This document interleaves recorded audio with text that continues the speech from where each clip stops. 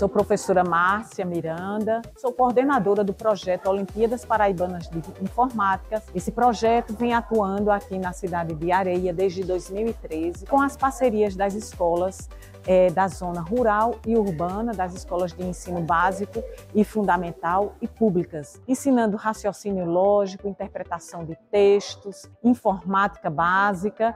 E esse evento de hoje para a nossa honra, veio culminar com as entregas de certificados para todos os alunos que participaram das provinhas da Olimpíada e das medalhas dos alunos que se destacaram né, nessas provas e ganharam e tiveram um acerto maior. Nossos alunos sempre participando da Olimpíada de Informática e hoje, mais uma vez, sendo premiados com medalha de ouro, prata e bronze. Estou muito feliz por ser medalhista de ouro e agradeço a Deus por Ele ter me concedido isso.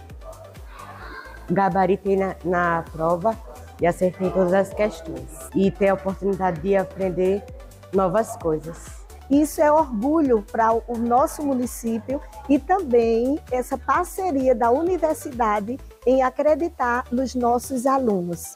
É, nós nos sentimos muito, muito gratos por esse momento.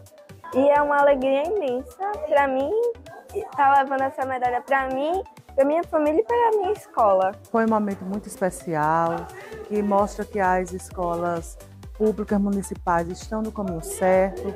A gente quer parabenizar todos os alunos que ganharam certificado, aos medalhistas, aos dois medalhistas de ouro e que esse projeto junto ao FPB, a professora Márcia, meus parabéns aí a todos os, os ganhadores e todos que participaram dessa Olimpíada Areense Informática.